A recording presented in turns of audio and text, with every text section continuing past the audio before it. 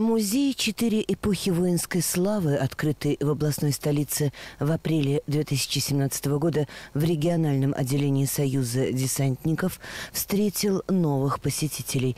На этот раз пятиклассники 45-й Тверской школы. Ученики многих школ областной столицы в музее – частые гости. Об интересе говорят цифры статистики. Только за два последних месяца 2020 года здесь побывало 635 человек. Не только жители региона, но и Новгородской области. Не только дети, но и взрослые. В декабре э, у нас э, на мероприятии присутствовал федеральный инспектор э, по Тверской области Сергей Николаевич Свитин. Сегодня как раз нашу выставку посетили Э, заместитель глава, главы администрации города Твери Хоменко Людмила Григорьевна и начальник управления образования администрации города Твери Жуковская Наталья Владимировна. Людмила Григорьевна говорить не велела, но она одела кольчугу, шлем, взяла в руки меч.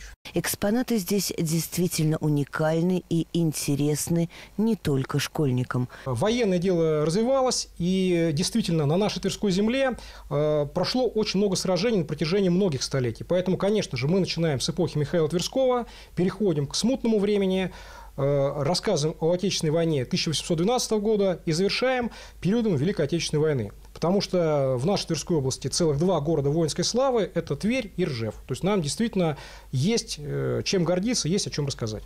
Не так давно экскурсии здесь проводит Юлия Кузнецова, библиотекарь библиотеки имени Герцена, куратор библиотечного клуба исторической реконструкции.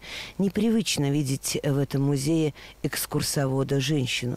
Обычно о ратных подвигах наших земляков рассказывают бравые офицеры, по-армейски подтянутые десантники, за плечами у которых горячие точки страны. Бравые ребята, прошедшие горячие точки, э, когда начинают заниматься реконструкцией, все-таки что-то носят. И это что-то они не шьют, а шьем мы. А девочки-реконструкторы тоже бывают, и они не машут чаще всего мечами, они шьют, вышивают. Иногда приходится ткать, например, что-то похожее на этот пояс. А, и, соответственно, когда нужно объяснить ребятам, почему воин одет так, почему это работало в ту эпоху, а, чаще всего бравые ребята объяснить этого не, мож- не могут, потому что они это не шили, а это можем сделать мы, женщины. Все экспонаты музея по крупицам собирали сами ветераны-десантники. И экспонаты эти действительно работают. После экскурсии каждый может не только примерить на себя одежду воина той или иной эпохи, но и пострелять в тире из настоящего лука. Основная цель э, работы выставки – это как раз информирование школьников города Твери и Тверской области о ратных подвигах э, тверичей. Потому что э, школьная программа в силу объективных причин э, не включает в себя те знания, которые даем мы, плюс, конечно, ну, школа все-таки не спортзал, и не выставка, и не музей, и там нет возможности одеть доспехи, взять в руки меч, выстрелить из лука, там, сесть за пулемет Максим, взять в руки легендарную винтовку Мосина, ППШ, оружие победы.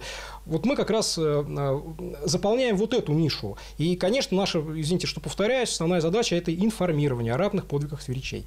2021 год пройдет здесь, как и по всей Верхневорской земле, под эгидой значимой для каждого тверитянина даты – 80-летие освобождения Калинина от немецко-фашистских захватчиков. Мы получили уже письма поддержки от федерального инспектора Тверской области, от управления образования города Твери, э, которые выразили нам поддержку, и вместе с ними будем реализовывать этот проект со школьниками города Твери. Музей открылся и работает исключительно на энтузиазме ветеранов-десантников.